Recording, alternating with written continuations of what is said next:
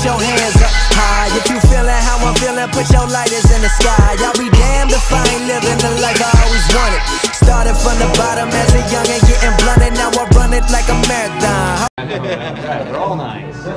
so today, what I'm gonna be doing is taking orders like I do every month.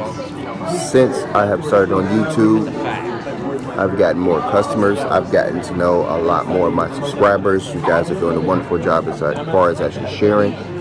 Please keep up the good work because if you know anybody who want an SUV, a truck, a motorcycle, even motorboats, send them this way.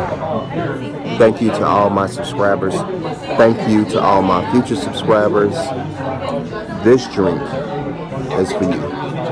You know somebody every every time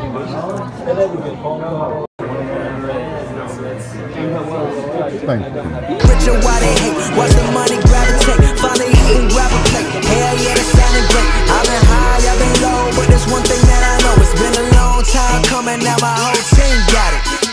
And if you're hating, suck a dick and bitch about it.